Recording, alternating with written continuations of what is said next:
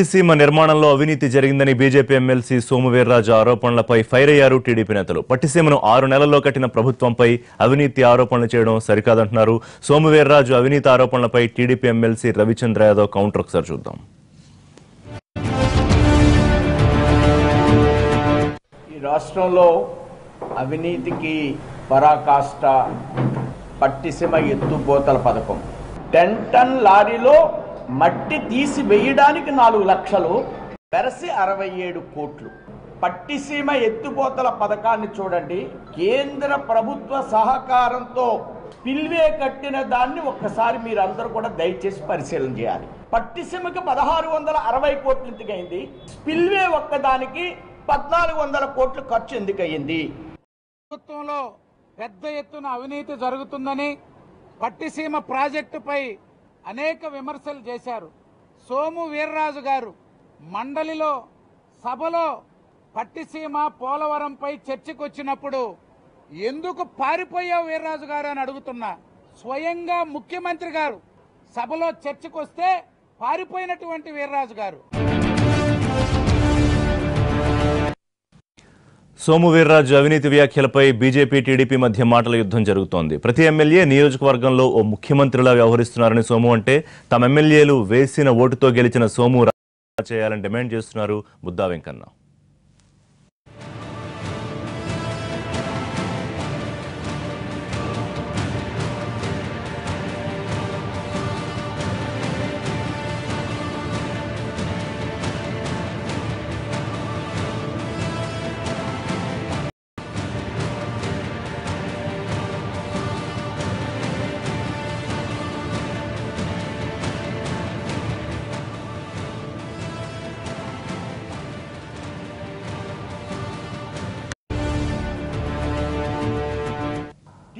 అంటే Telugu drama party.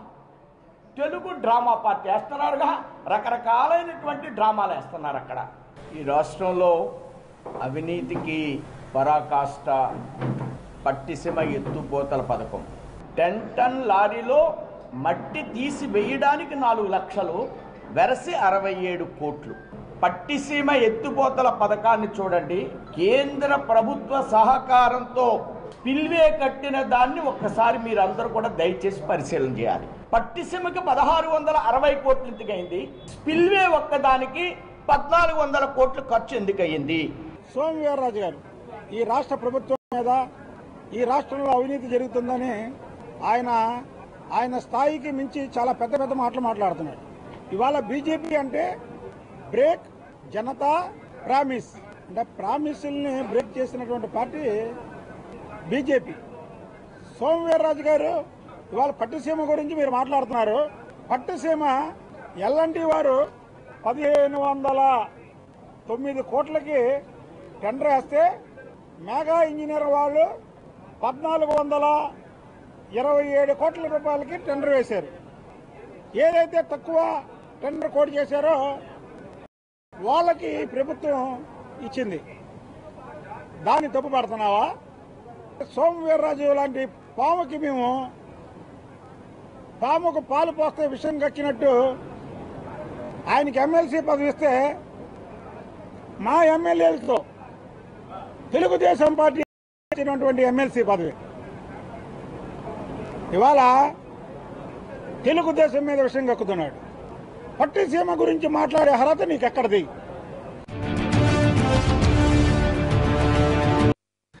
Right ప్రభుత్వం అవినీతి పలుగు పారలతో తవ్వేది కాదని బుల్డోతో తవ్వి తీయాలని చెప్పి సోమవీర్రాజు కామెంట్ చేశారు. ఈ రాష్ట్రంలో అవినీతికి పరాకాష్ట పట్టిసీమ ఎత్తుపోతల పథకం. ఇంకా అనేక రకాలైనటువంటి అవినీతి రాష్ట్రంలో జరుగుతుంది. ఈ అవినీతిని తవ్వడానికి గుణపాలు సరిపోవు. ఈ అవినీతిని పెకిలించడానికి బుల్డ్రోజర్లు కావాలి ప్రొక్లైన్లు కావాలి. ఒక లారీ మట్టి తీయడానికి నాలుగు లక్షలు పట్టిసీమలో. ఒక లారీలో టెన్ టన్ లారీలో మట్టి తీసి వెయ్యడానికి నాలుగు లక్షలు. టెన్ టన్ లారీలో మట్టి తీసి వేయడానికి నాలుగు లక్షలు వెరసి అరవై ఏడు కోట్లు. ఒక లారీ మట్టికి నాలుగు లక్షలు ఇస్తారంటే నేను ఎవరో పత్రికా పెద్దలు ఏమన్నా మాకు కూడా పది లారీలు ఇస్తే నలభై లక్షలు వచ్చినండి అన్నాడు. ఎందుకని బాబు ఉద్యోగం అది ఎందుకని? అంటే ఒక లారీకి నాలుగు లక్షలా? ఒక కిలోమీటర్ ఆ లారీ వెళ్ళడానికి వెయ్యి రూపాయలా? ఒక కిలో ఆ లారీ వెళ్ళి బయట మట్టి పాడేయడానికి వెయ్యి రూపాయల? మా జిల్లాలో ఆ మట్టి తవ్వు కింద వెళ్ళిపోమంటే ఊరికినే వాళ్ళే రైతులు వచ్చి తవ్వుకుపోయేవారు ఈ మట్టిని. వైసీపీ పార్లమెంటరీ నేత వైవి సుబ్బారెడ్డి మాట్లాడుతున్నారు. లైవ్ చూద్దాం. కాంగ్రెస్ పార్టీ కూడా అవిశ్వాస తీర్మానానికి నోటీస్ ఇచ్చినందువల్ల మనం ఏ విధంగా అన్ని పార్టీలు కలిసి మేము ఫస్ట్ నుంచి ఒకటే చెప్తున్నాం. వైఎస్ఆర్ కాంగ్రెస్ పార్టీకి అవిశ్వ రాష్ట్ర ప్రయోజనాలు ఇంపార్టెంట్. రాష్ట్ర ప్రజల ఇది ఇంపార్టెంట్ అవిశ్వాస తీర్మానం ఎవరిది వచ్చినా మేము మద్దతు ఇవ్వటానికి తయారుగా ఉంటాం. దాని మీద డిస్కషన్ జరగాలి. అప్పుడే ఐదు కోట్ల ఆంధ్ర ప్రజలకి ఏ విధంగా ఎన్డీఏ ప్రభుత్వం అన్యాయం చేస్తుంది అని దేశవ్యాప్తంగా తెలియాలని ఫస్ట్ నుంచి మనం ఒకటే చెప్తా ఉన్నాం. ఇంకా ముఖ్యమంత్రి చంద్రబాబు నాయుడు గారు అయితే రోజుకొక స్టేట్మెంటు స్టేట్మెంట్ మీడియా ద్వారా చెప్తారు ఆయన ఎన్డీఏ ప్రభుత్వంలో బీజేపీ వాళ్ళని ఎవరు అధికారంగా కలవద్దు? వాళ్ళ మీద పోరాటం చేయాలి పార్లమెంట్ సాక్షిగా. Parliament temple of democracy. మంచిది. ఇప్పటికైనా గుర్తుకొచ్చింది చంద్రబాబు నాయుడు గారికి పార్లమెంట్ సాక్షిగా పోరాటం చేయమని. మరి మీరు చెప్పకుండానే మీ మంత్రులు కేంద్ర మంత్రులు అరుణ్ జైట్లీని కలిశారా నిన్న? మీరు కలవద్దని స్టేట్మెంట్ ఇచ్చారు పేపర్కి. మీ మంత్రి గారు అరుణ్ జైట్లీ గారిని కలిసినట్టు మీడియాలో లీకులే రావటంగా ఆయనే స్టేట్మెంట్ ఇచ్చాడు. ఆంధ్రజ్యోతి పేపర్లో. ఏం మాట్లాడింది కూడా చెప్పాడు. ప్రత్యేక హోదా అంశం తప్పక మిగతా అంశాలన్నీ కూడా మాట్లాడేవని అంటే మీరు నాలుగు సంవత్సరాలు అధికారంగా ఎన్డీఏలో భాగస్వామిగా ఉండి అన్ని రాష్ట్ర ప్రయోజనాలను అన్నీ తాకట్టు పెట్టి ఒక్కటి కూడా సాధించట్లో విఫలమవటం కాక. ఇప్పుడు కూడా మళ్ళా కేంద్ర ప్రభుత్వం లాలించు కార్యక్రమం చేస్తున్నారనే దానికి ఇంతకన్నా నిదర్శనం ఇంకోటి పని లేదు. మీరేం మళ్ళా పెద్ద స్టేట్మెంట్ మళ్ళా ఎవరిని కలవద్దు మనకి ఎన్డీఏ ప్రభుత్వం అన్యాయం చేసింది. ఇది నాలుగు సంవత్సరాల తర్వాత తెలిసింది. ప్రత్యేక హోదా విభజన చట్టంలో అంశాలు ఏవి రావట్లేదు. ఎవరు కలిసిన ఇది అనే కార్యక్రమం.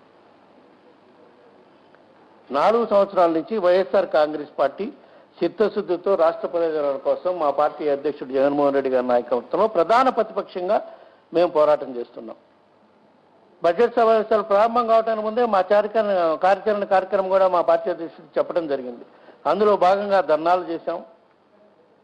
పార్లమెంట్ లోపల బయట కూడా పోరాటం చేస్తున్నామని ఉన్నాం.